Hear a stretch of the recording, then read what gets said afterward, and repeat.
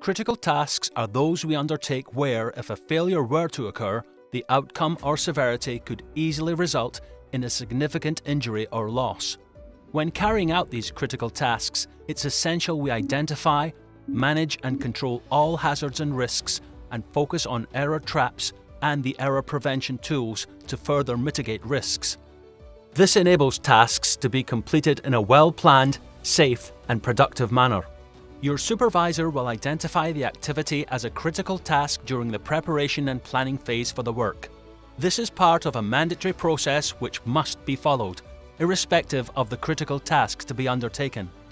It's important you understand the process and your role within it, and this module is part of the Doosan Babcock Critical Task Training for Breaking Containment. It will help reaffirm your personal awareness, accountability and ownership for these activities. Please take time to watch, listen and understand this module.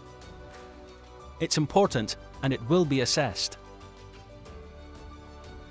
Breaking containment becomes a critical task activity when it is a first break into any closed system irrespective of the method used or when the risk assessment has identified a significant hazard.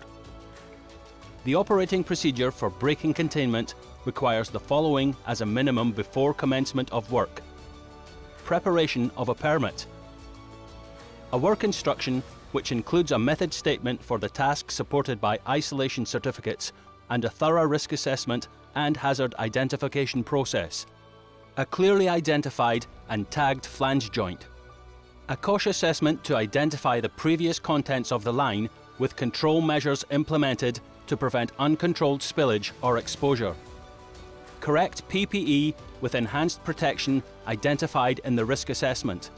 Check that the identified flange is the correct one.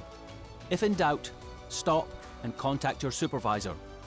So let's take a more detailed look at a first break into a closed system. In this example, a flanged joint. The bolts or studs at the bottom of the flange, furthest away from the eyes and body, should be slackened first. With a 12-hole flange, loosen these three bolts first, ensuring the line is product-free. If unexpected pressure is encountered or more liquid escapes than expected, retighten and consult your supervisor immediately.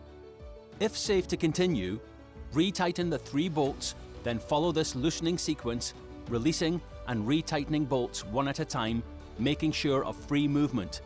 Each bolt head or nut must be secured on the other side by a spanner and lanyard. Make sure you communicate with colleagues to coordinate your actions. Identify and maintain a safe means of escape. Do not operate equipment unless you're both in a safe position and keep hands and fingers clear of any points of impact. And remember, the joint must be drained in a controlled manner with any liquid collected continuously in drip trays or gullies. One less than half of the bolts should then be removed with the remainder slackened. Then the joint may be cracked, but if one of the remaining studs becomes tight, this indicates stress in the pipe. If this happens, stop the job and consult your supervisor. If bolts are seized and cutting has been sanctioned, they must be replaced one at a time. If it is safe to continue, the flanges should be parted using a flange spreader or wedges. Bronze wedges should always be used and must be positioned to avoid damage to the flange face or lining. They should be secured by a lanyard where possible to prevent injury should they fly out. Never put fingers or any other part of the body between the flange faces or in the bolt holes. If the flange is being broken for spading, the bolts may be replaced with longer ones to accommodate the thickness of the spade. Remember, never leave an open spaded joint unattended. Prior to any critical task break into a closed system, a flange break operations take 5 must take place. No take 5, no work. Those involved must sign to confirm they have read, understood and agreed to the method statement and risk assessment. In motor racing, breaking containment activities are commonplace.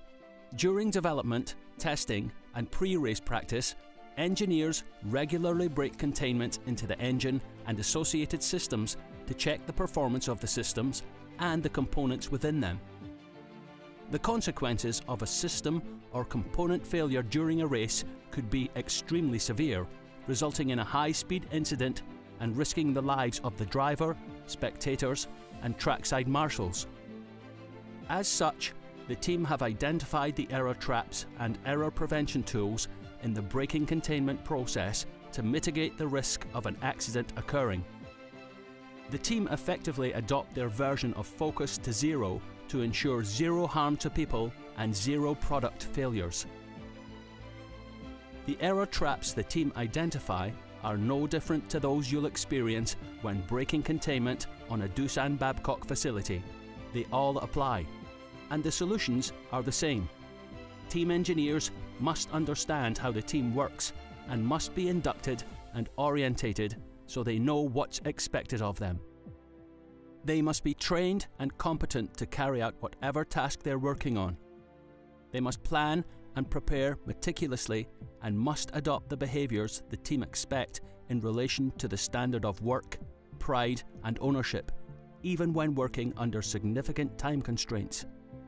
There must be leadership, not just from management, but personal leadership to do the job correctly and to speak up if something's not quite right.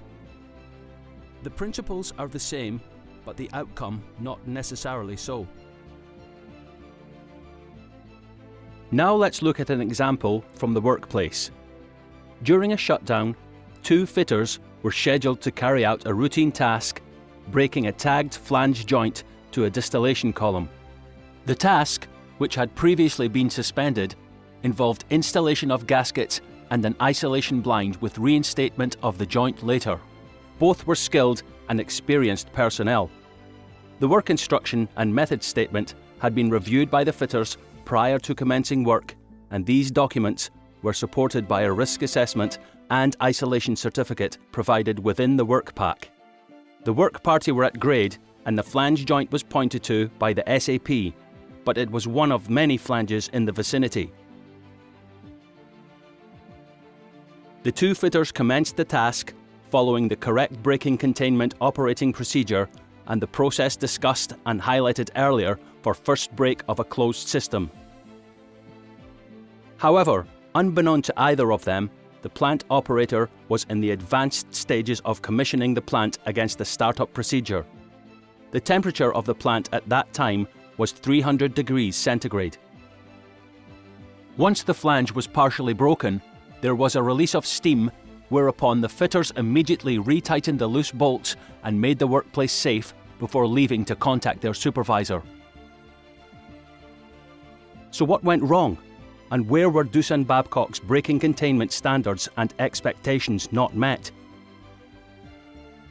As this job had been previously suspended, the permit should have been resubmitted and the risk assessment reviewed prior to commencement of the task with fresh isolation certificates issued. The flange should have been identified as part of the risk assessment process and not simply pointed at by the SAP. Prior to the task, a Take 5 should have taken place. This would have highlighted concerns regarding the flange location, the validity of the permit, the risk assessment and the isolation certificate.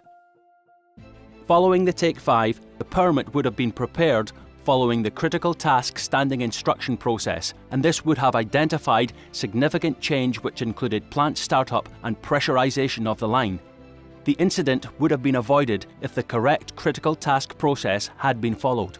Breaking containment is a critical task activity when it is a first break into any closed system irrespective of the method used or when the risk assessment has identified a significant hazard.